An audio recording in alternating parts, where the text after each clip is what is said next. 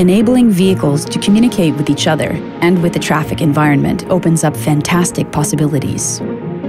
With a Wi-Fi unit in each vehicle and on key elements in the traffic environment, vital information can be shared and exchanged, creating a more comfortable and safer drive. For example, a red light violation in busy urban traffic can be a dangerous situation but the combined information from the traffic lights and other vehicles makes it possible to alert you in time if a crossing car ignores a red light.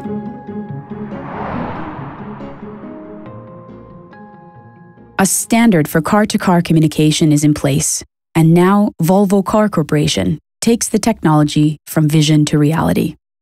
So Volvo Cars uh, has implemented this uh, system in cooperation with other vehicle manufacturers and proven the technology and the concepts to be mature and uh, should be available for production in a near future.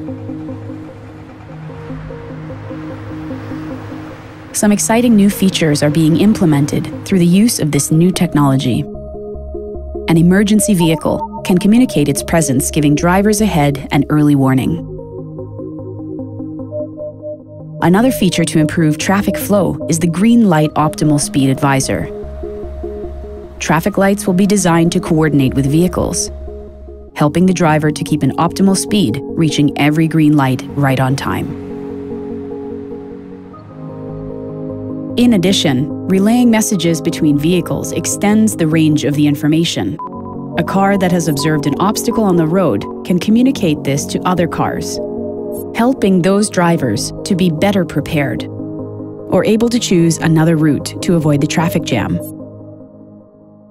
It's exciting to work with this new technology. Uh, at Volvo, we have been working with the radar, laser sensors, camera systems for a long time.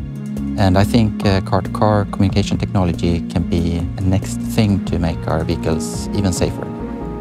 In the future, I think we will see more applications also to increase convenience for the driver.